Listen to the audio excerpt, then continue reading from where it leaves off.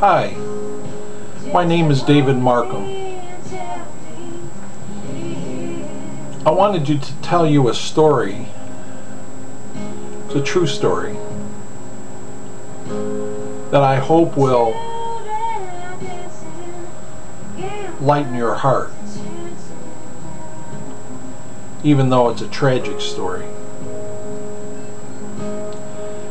Back in 1993, two of my wife Angela's and my children were killed in a drunk driving crash. Angela was driving the car.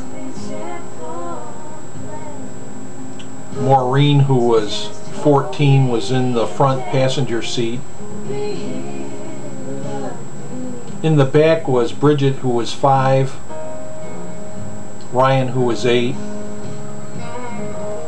and Joe was 12. They had been down to the State University of New York College at Geneseo on March 10th to participate in an Irish St. Patrick's Day festival. My children were Irish dancers. And on the way back from Geneseo to Brockport, the car that Angela was driving was struck by a 18-wheeler tractor trailer truck loaded with 43,000 pounds of flour driven by a man who was in the act of committing his third DWI. Bridget, who was five, and Ryan, who was eight, were killed in that crash. If Bridget were alive today, she'd be 21. Ryan would be 24.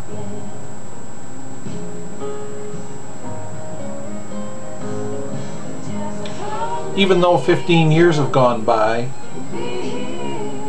not a day goes by that I don't think of them. I speak periodically on the MADD victim impact panels and people ask how do you ever get over losing two children and the simple answer is you never get over the grieving gets different. You learn how to handle it better. But it's always with you. And even though it's been 15 years since Bridget and Ryan were killed, I still periodically dream of them. And the point of my story is I wanted to tell you about one such dream in which I had come home after working away for some period of time. And I was so glad to see my children and Ryan in particular who was eight I felt I needed to apologize to and I said to Ryan Ryan daddy's really missed you and I'm sorry that I work so much and that I can't spend more time here with you. And I promise you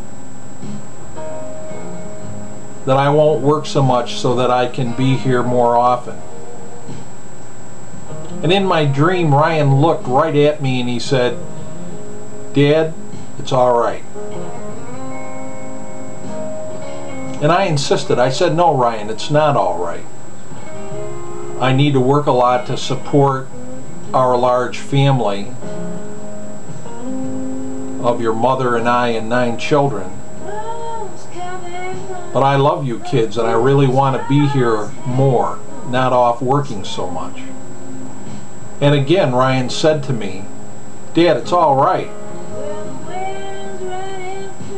And I insisted. I said, No, Ryan, it's not all right.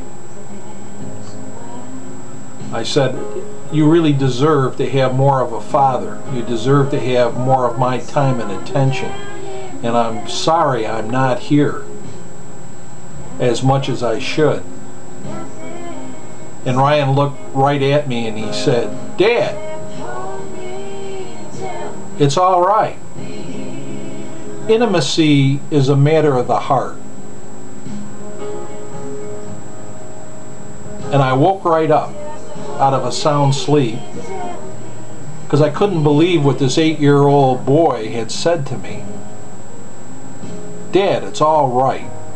Intimacy is a matter of the heart.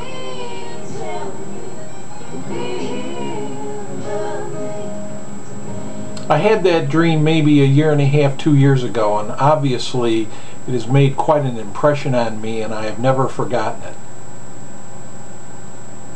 And I've incorporated that story now in my talk on the victim impact panels and I wanted to share that with you here in this video. Ryan Markham an eight-year-old boy who was born in 1984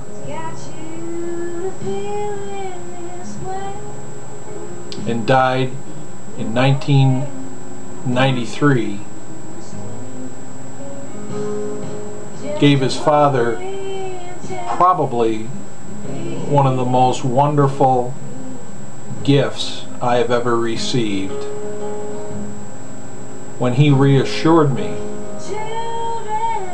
that he was confident in my love for him and reminded me that intimacy is a matter of the heart.